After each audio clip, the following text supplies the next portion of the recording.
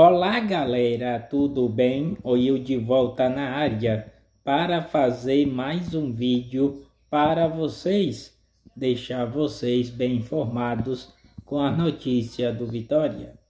O Vitória joga amanhã contra o Corinthians, subindo notícia no, no jornal Correio da Bahia, que o zagueiro João Vitor, que está no Mirassol, pode estar retornando ao Vitória e o Vitória pode contratar um zagueiro que estava é, no Juventude, é, Rodrigo Sá.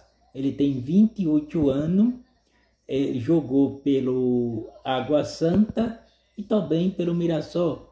Rodrigo Sá. Pode pesquisar aí. Qual desses zagueiros seria mais útil para o Vitória?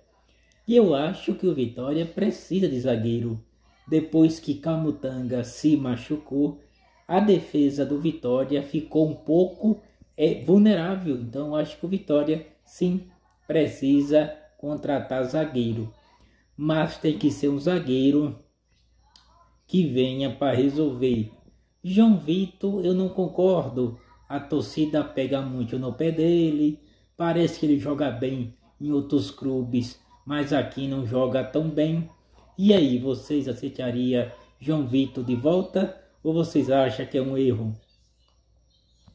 Galera, deixa o like, se inscreva, tamo junto, fui, até o próximo vídeo, fica na paz do Senhor, tchau, tchau, fui, aqui é Vitória, vamos tentar, tentar não, vamos ganhar do Corinthians, deixa o like aí, compartilhe, fui.